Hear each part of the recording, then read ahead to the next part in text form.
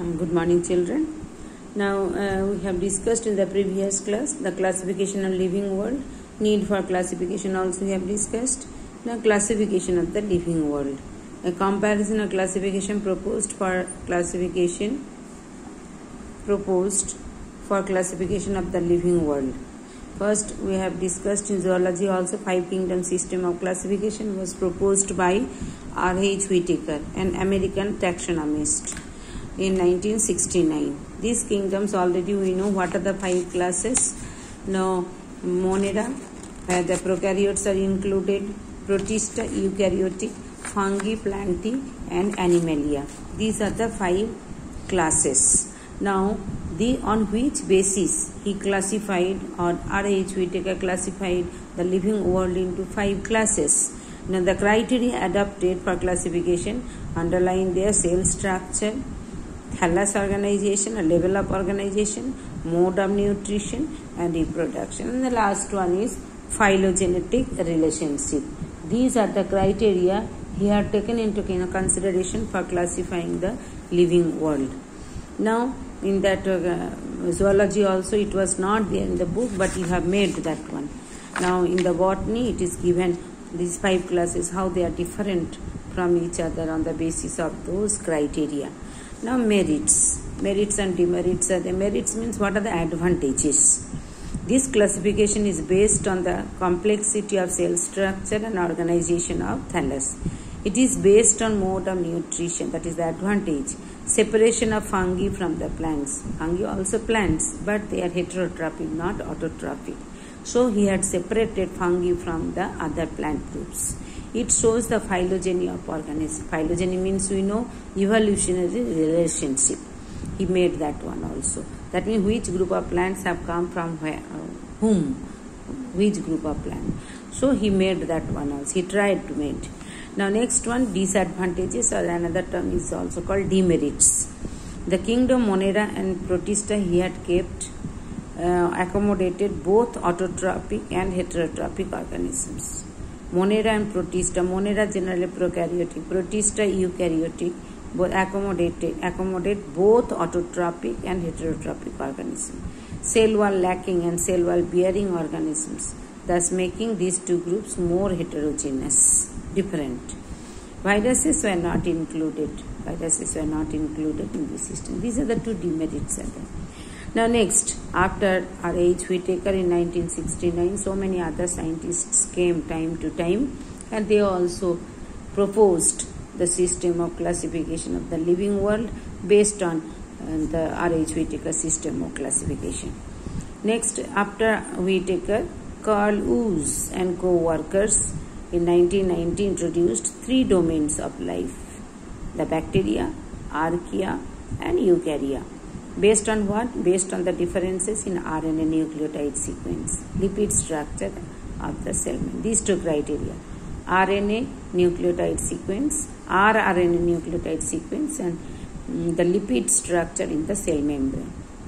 Then a revised six kingdom system of classification for living world was proposed by Cavalier Smith. Thomas Cavalier Smith, six kingdom system of classification in 1998. And the kingdom Monera is divided into two Archaebacteria and Eubacteria. Archaebacteria and Eubacteria. Recently, Rogerio, Rogerio et al. Et al. means his team members together 2015 published a seven kingdom classification so six kingdom system of classification proposed by cavalier smith seven kingdom system of classification was proposed by rogerio et al. in 2015 which is a practical extension of cavalier six, six kingdom system of classification. According to this rogerio system of classification there are two super he made two super kingdoms prokaryota and eukaryota prokaryota includes kingdom archaebacteria and eubacteria and eukaryota includes protozoa chromista he added protozoa chromista fungi plantae and animalia. New kingdom chromista was introduced by rogerio et al. And uh, uh, he told that It included all algae whose chloroplasts contain chlorophyll A and C. That is the important criteria introduced for classifying the uh, chromista as, as well as various colorless forms that are closely related to them like diatoms, brown algae, cryptomonads and oomycetes are placed under this kingdom. So that is a, a, uh, system, different system of classification proposed by different scientists at different times. Now next we are going to discuss one by one the different organisms which are present in plant kingdom. So first we will be discussing called the bacteria. The bacteria means generally we know bacteria are our friends at the same time they are our enemies, foes. Bacteria helpful to us. We are getting different types of products from bacteria. Common example has been given in your book which is called the curd. Now uh, we are getting from bacteria lactobacillus lactis. And at the same time they are foe for us. Foe means enemy. They are causing different types of diseases. One such example we have studied in 10th standard also it is called Salmonella typhi which is causing the typhoid to us. Like that so many different bacteria they are causing different types of diseases to us. So bacteria are both friend to us and enemy to us also. So that is the introduction. Now this one uh, inside the box has been given for one mark question robert koch. Already we know that one also. What is the intro, uh, what is the contribution of robert koch in um, these plants or bacteria about the bacteria? He identified the causal organism for anthrax cholera and tuberculosis causal means what?